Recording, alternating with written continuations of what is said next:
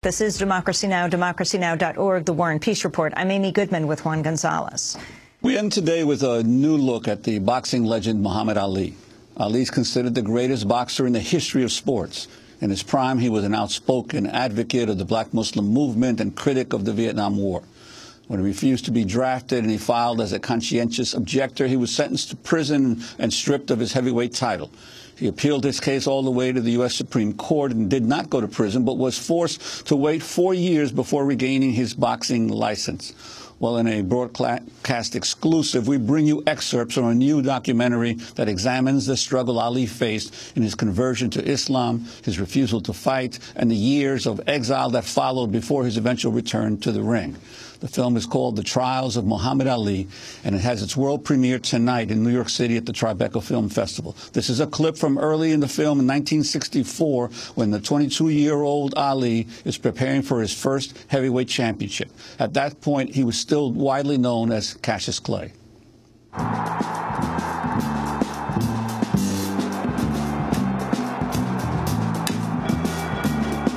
55,000 people came that night. You should have seen the people. One layer, two layers, 10,000 on each layer, 15, 20 on some. Four layers on the fifth layer. People were looking down on the ring. 55,000 and Cleopatra was at ringside. We don't believe it. The fifth round came. Yeah, hit him. Yeah, I said, come on, sucker. Yeah. And I said, break it up. I said, there he is. Let me see you close your mouth and just keep it closed. Well, you know that's impossible. No, no, no. Keep it closed. You know that's impossible. I'm the greatest. And I'm knocking out all bums. And if you get too smart, I'll knock you out.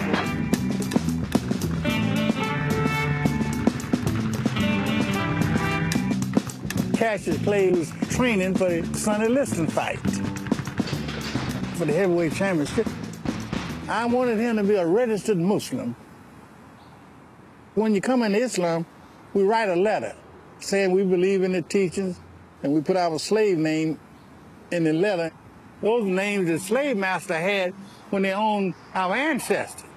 So he wrote his letter, sent it off to Chicago, and then they sent back what we call X. He became Cassius X. And then the promoters, they was trying to get Ali to denounce the religion. And they told Ali, you got to get rid of the Muslim cooks. And Captain Sam, that's me. And denounce that religion, otherwise there ain't going to be no fight. Well, Ali been training all his life for the fight for the heavyweight championship. So that's something of scare a man to death. I said, man, don't believe that. I said, money is the white man's God. And I said, you're the only one can make any money from. I said, hold to your belief. That was a clip from the new film, The Trials of Muhammad Ali. The last voice you heard, Captain Sam, who helped bring Muhammad Ali into the Nation of Islam, which gave him the name Muhammad Ali. For more, we're joined by the film's director, Bill Siegel, ahead of its world premiere tonight at the Tribeca Film Festival. The film's set to broadcast next spring on PBS's Independent Lens. Bill also co-directed the Academy Award-nominated documentary, The Weather Underground. And we're joined by Gordon Quinn, executive producer of The Trials of Muhammad Ali, founding member of Kartemquin Film films, uh, where he has spent four decades making documentaries that investigate and critique society by documenting the lives of real people. We welcome you both to Democracy Now! Bill, um, why you decided to make this film? Uh, well, I think your your last story about the the integrated prom coupled with um, integrating Little Rock High School shows both how far we've come and how far we need to go. And Muhammad Ali was at the crosshairs of the black freedom struggle and the anti-Vietnam War resistance while he was finding his himself. And so to me, it's a journey film that I hope says as much about us as it does about him. And I was, I first, I discovered Muhammad Ali as a, as a kid growing up in Minneapolis. I discovered Muhammad Ali Beyond the Ring about 23 years ago as a researcher uh, on a six hour series called Muhammad Ali The Whole Story. And I came out of that long before I co directed Weather Underground thinking someday I want to make Muhammad Ali the exile years uh, because to me that's the most important, notorious, and um, valuable uh, fight of his life in terms of informing us in the present day. Well, and because there have been so many films made about Ali in the in the past, and uh, most focusing obviously on his incredible skills as a boxer, uh, those uh, those years in exile from the sport were actually uh, the um, he was in the prime of, of his life at that time. Could have been, could have been a much greater boxer than even we re remember if he'd been allowed to continue in the sport at that period of time. Yeah, a lot of people say we never saw the best Ali in the ring, but I think it gave us an opportunity to um, get the best Ali beyond the ring, which to me is even more valuable as much as I love him as a boxer. Bill, the film opens in a just shocking way with David Susskind. Explain. That was a clip that we came on to late in the editing process. And, uh, you know, I was sitting in the room with Aaron Wickenden, who did a masterful job editing the film. Rachel Pikelny also just had a baby, produced the film. And Aaron and I, when we saw that clip, said that's the beginning of the film. And for that reason, it just. Describe it to us. Uh, Susskind's in London on a, a, talk show with Eamonn Andrews in 1968. Ali's in exile. He's been banned, and he's on. Ali's on this. He's sort of imprisoned in this box, uh, you know, black and white TV by Early Bird Satellite, and Susskind just attacks him for everything he's doing in that moment. And it's a powerful reminder or perhaps discovery that Ali was villainized at that point by so many in this country, not everyone. He, he says, I don't even want to talk to you. Yeah. You are a felon. You And he went pawn. on and on. A pawn? Yeah. Incredible. I want to go to a clip of a news report from Muhammad Ali, sentenced to prison and stripped of his heavyweight title for refusing to fight in Vietnam. Cassius Clay at a federal court in Houston is found guilty of violating the U.S. Selective Service laws by refusing to be inducted. He is sentenced to five years in prison and fined $10,000. That's an excerpt that came from the documentary When We Were Kings. By Leon Gast, who uh, I met on this uh, 23 years ago film. And Leon, that film collapsed. Leon pulled his segment out. That became When We Were Kings and he's another executive producer on this film. And Gordon, your decision to get involved with this project and and to uh, and to make this film, what uh, what it means for you?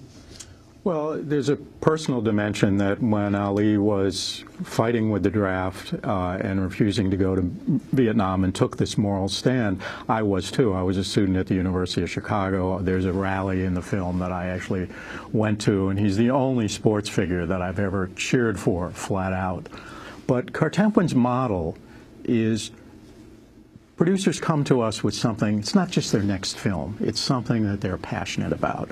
And Bill was, I mean, he, I, he actually, how long has it been that eight we were eight years that um, when he first came to Kartemquin, and it was like this was the film he had to make. This was, you know, he just had this passion for it, and that's really what we care about at Cartemp. When We're producer driven. Uh, it's a collaborative atmosphere. There's a team of people around, but we want someone who is really, you know, not just building their resume and their career, but this is the story I have to tell. Um, let's go to another clip from this film you chose to produce, The Trials of Muhammad Ali. This is later in the movie, after Ali has refused to fight in Vietnam. We hear from Ali's former wife, Khalilah Ali, uh, Ali himself, and Captain Sam, who helped bring Muhammad Ali into the Nation of Islam, as well as Ali's brother, Rahman Ali. Somebody would come out of nowhere and say, you draft out your nigger, go home. Well, he didn't like that at all. I said, we have to do this for a living, man. You don't worry about what people say about you. You got to keep going. And then he talked back at me and says, you're not out there getting embarrassed. I'm out there getting embarrassed. What would you do if somebody did that to you? I'm not going to help nobody get something my Negroes don't have. If I'm going to die, I'll die now, right here fighting you. You my enemy. My enemy is the white people, not Viet Congs or Chinese or Japanese. You my opposer when I want freedom. You my opposer when I want justice. You my opposer when I want equality. You won't even stand up for me in America for my religious beliefs, and you want me to go somewhere and fight, but you won't even stand up for me here at home. The exiled years were the worst years of me and Ali's life. In Islam, we feel like when we're been attacked unjustly, we feel like it's a, a trial period for us. And we stand on righteousness and truth, God gonna bring us through it. And that's the way I saw Ali. I suffered with my brother. He suffered, I suffered. We like that. I felt the way he felt. I share my brother's pain. I share his. Rahman's crying.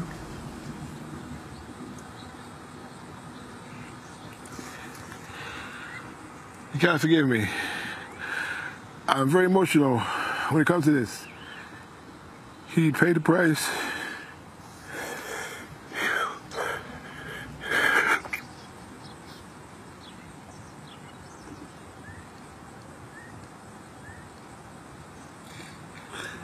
He did what he had to do.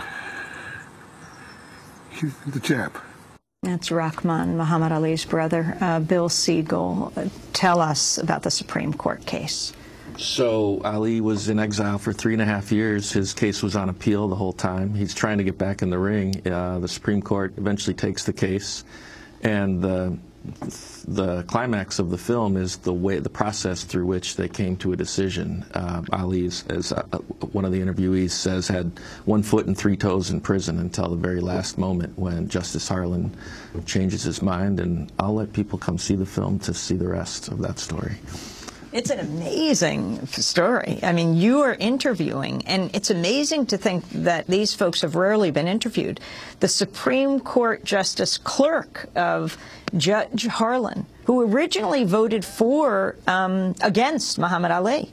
A five to three decision, right? Because Thurgood Marshall had uh, recused himself because he worked with the NAACP. Right, and and uh, you know comes out eight to nothing in favor of Ali, and the process through which that change happens is, you know, to me, an important part of the story. I want to say one thing about that last clip because to me, that clip demonstrates that this isn't a boxing film, but it is a fight film. And you can see Ali, the fighter, in that film. And also, uh, I could walk down the streets of New York with a microphone and, and say, who has a Muhammad Ali story to tell? And pretty soon there would be a line.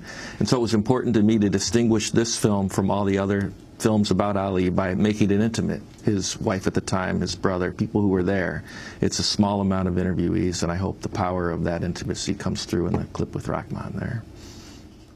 Uh, and, and, Gordon, in terms of uh, producing the film, any particular difficulties that you didn't expect uh, uh along the process because you've done many over the years? Well, you know, it, it, it never gets any easier. You know, after we did Hoop Dreams with Steve James and it broke so big, we thought, well, fundraising will be easier but it's been just as hard from right from the start. Uh, ITVS came in on this film, uh, and the Ford Foundation was a big supporter near the end.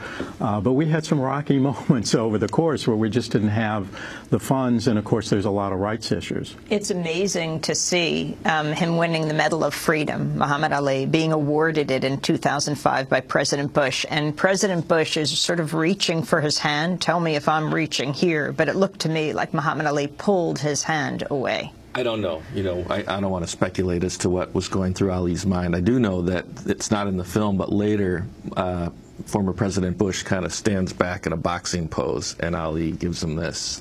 Uh, like, gives him the sign like you're crazy. Yeah, he, yeah I mean, he does seem to really, he knows what's going on. He's very sharp to this day. And I mean, for me, the core of the film is here's a guy who took a moral stand. It had to do with his religion. America has never understood who the black Muslims are and what they're about. And that's another dimension of the film that I think is terribly exciting. And, you know, here, here are people just talking about their faith in a way that we never hear in America. We want to thank you both for being with us. Um, Bill Siegel directed the new documentary, The Trials of Muhammad Ali. It'll premiere tonight at the Tribeca Film Festival. Uh, Gordon Quinn is the film's executive producer. That does it for our show. Thanks so much for watching this report from Democracy Now!, your daily independent global news hour. We don't accept advertising or corporate funding, but rather rely on donations from viewers like you please make your contribution by visiting democracynow.org. We need your support today to keep bringing you this hard-hitting, in-depth reporting.